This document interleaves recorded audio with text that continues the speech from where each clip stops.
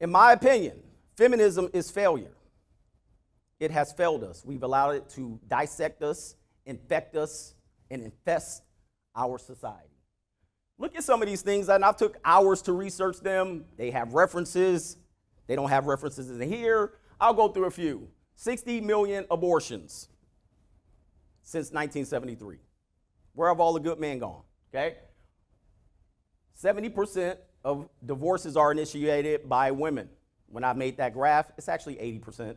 Eight out of 10 times, when a divorce is initiated, a woman goes down there and files it with the court.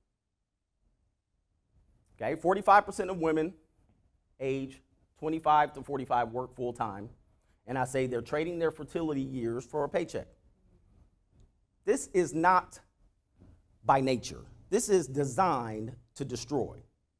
This is a res- direct result of feminism, but when I apply it, people go, oh no, what happened? Accountability, umbrella, women worship, two fingers behind my back, smile. Oh no, has nothing to do with it.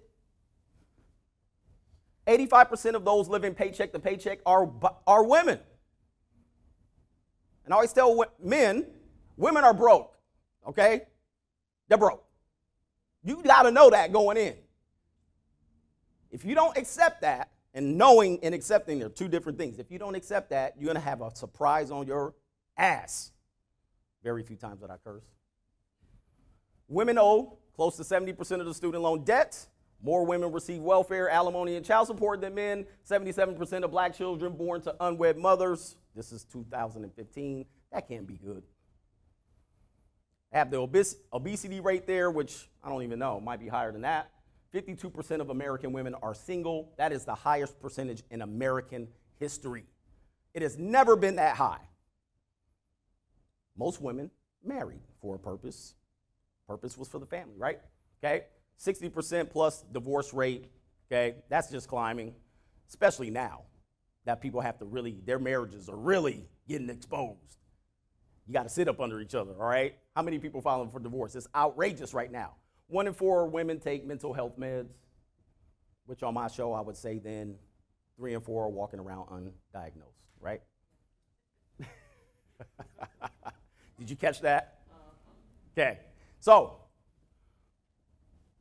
percentage of births to unwed mothers in 1950s it was almost unheard of. Today, single mothers are heroes. What happened as a result? Boom. Women's worship. The minute you take away a standard, then they say, well, I don't have to live by it then. I'm going to do it. Same thing with body acceptance. It's the same thing. Accept their body. Sounds like a good idea, but what's going to happen? Most women are saying, well, shit, if it don't matter, I ain't going to do it. The father absence crisis in America. This is the real hook. When you remove the father, you destroy the family. When you destroy the family, you destroy the culture.